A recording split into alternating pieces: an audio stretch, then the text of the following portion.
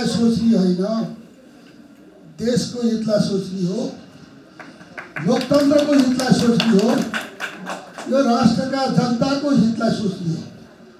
आज नेपालका जनतामाथि धोखाधडी भएको छ। मतदातामाथि विश्वासघात भएको छ। नेपालको लोकतन्त्रमाथि छुरा प्रहार भएको छ। र नेपालको संसदलाई नेपालको संविधानलाई रक्षामा मिल्काउने धृष्टता दुष्प्रयास यो भएको छ।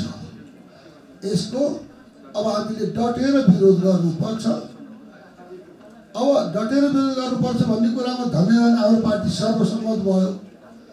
तर विरोध त गर्नुपर्छ कस्तो विरोध भन्ने कुरा अलिकति आएपछि मैले भने यो मोही माग्ने ढुङ्ग्रो लुकाउने कुरा छैन।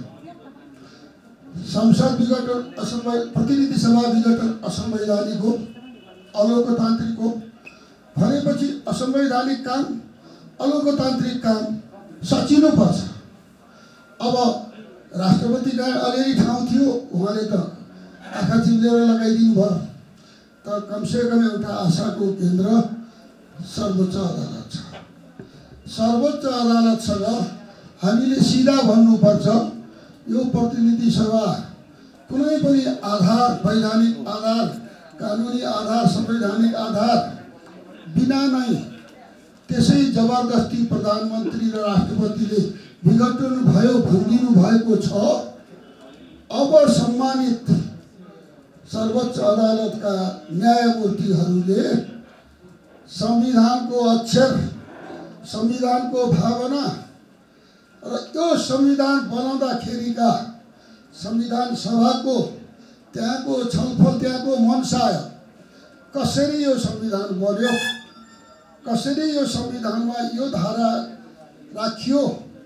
त्यसलाई हेरेर यसैको आधारमा व्याख्या गरिनुपर्छ।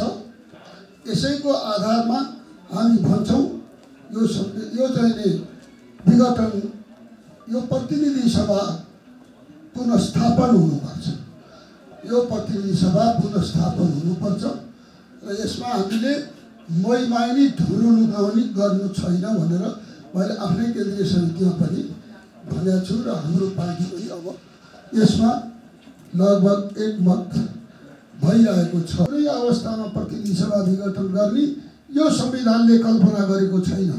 किनभने हामीले बारम्बार प्रतिनिधि सभा विघटन गर्ने प्रधानमन्त्रीका विशेष अधिकार के के संसदीय प्रणालीका यो चाहिँ कमजोरीलाई हाम्रो संविधानमा हामी राख्दैनौँ भनेर यो कमजोरीबाट यसलाई माथि यसलाई चाहिँ जो उ गरेर सुगाएर यो संविधान बनेको छ। यो संविधान बनाउन बनाउँदाखेरिका हामी सबै यही छौँ।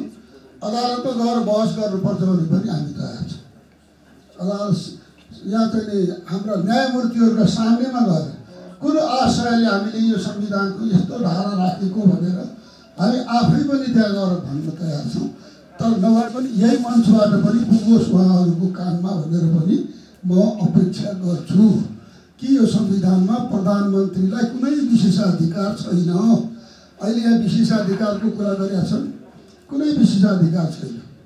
यो विशेषाधिकार भन्ने कुरा त वास्तवमा हामी यत्रो लडाइँ लोकतन्त्रको लडाइँ लड्दा लड्दा हामी चाहिँ वास्तवमा चेतिसकेको हुनाले यो कसैमाथि पनि यो विशेषाधिकार भन्ने कुरा यो राख्ने कुरै छैन।